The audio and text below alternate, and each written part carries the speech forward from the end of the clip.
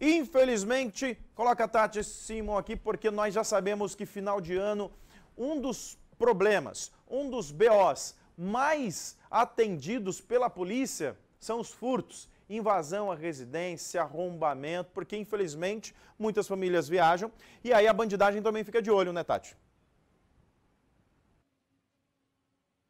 Sim, Rude, exatamente. Neste período do ano são casos como esse que aumentam em toda a cidade. Três Lagoas não é diferente. Muitas pessoas viajam e os ladrões aproveitam para invadir esses imóveis ou pelo menos tentar invadir, né? Aí vale aquela dica que a Polícia Civil sempre passa para a população, né? Vai viajar, vai passar um fim de semana fora se puder pedir para algum vizinho, algum amigo, algum familiar que vai ficar na cidade, passar em frente de casa, acender uma luz, dar uma visitada, né, deixar a chave com esse familiar, é sempre bom. Mas vamos às ocorrências, né, um pequeno, um rápido, aliás, um rápido saldo de como que foi o fim de semana, porque este fim de semana de feriado prolongado, né, semana de fim de semana de Natal, nós tivemos cinco ocorrências de furto aqui em Três Lagoas. Duas delas foram de tentativas, viu?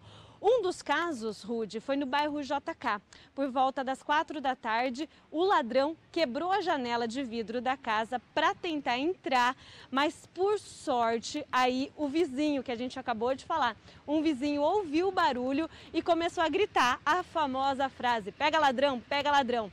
Com medo de realmente ser pego, esse ladrão saiu correndo, entrou dentro de um carro que já estava do lado de fora, aguardando por ele, ali próximo a essa casa. E graças a esse vizinho, o ladrão não levou nada da casa.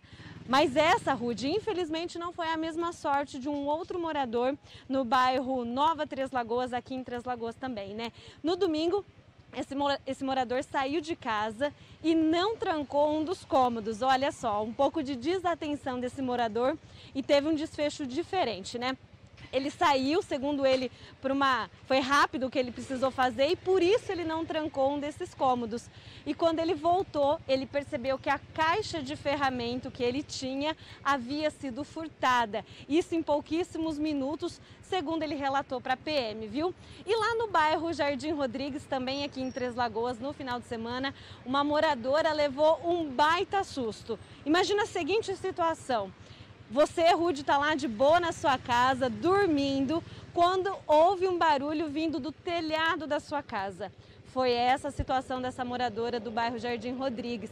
Ela estava dormindo, ouviu um barulho vindo do telhado, foi checar o motivo desse barulho, né? Estranhou isso e se deparou com ninguém mais, ninguém menos que um ladrão no telhado da casa dela ela também começou a gritar, pedir socorro e mais uma vez os heróis na história foram os vizinhos que acordaram e conseguiram capturar o ladrão.